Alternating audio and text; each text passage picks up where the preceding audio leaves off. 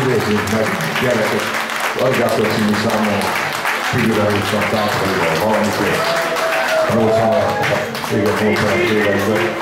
És utána egy pár évet ismertem meg ezt a fantasztikus együttes, a Siesta-t. Kisfiúk voltak, félenke jöttek el különböző bulikra, és utána csodát tettek. Óriási zenészek. Kár, hogy csak öt évente találkozunk meg, öt évente játszanak, de fantasztikus dalokat itt a fúziós zene csúcsai itt Magyarországon. Nagy tapsot Siesta-nak gyerekek! Oké, okay.